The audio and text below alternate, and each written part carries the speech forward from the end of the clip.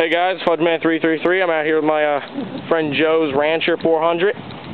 4x4 of course, can't get that little gay two-wheel drive stuff anymore. Pretty clean, just wash it, wax it, put some coating on the seat and the black plastic, looks better. All stock, no mods.